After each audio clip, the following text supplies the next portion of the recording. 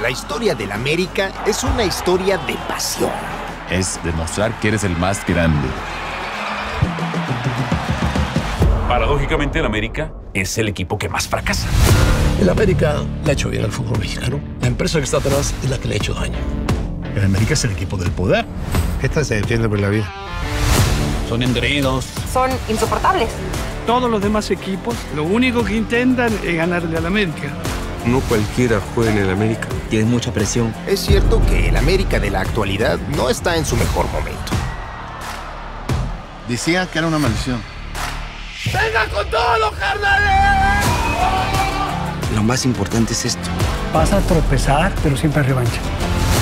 Se trata de un equipo que se enfrenta todos los días contra sí mismo.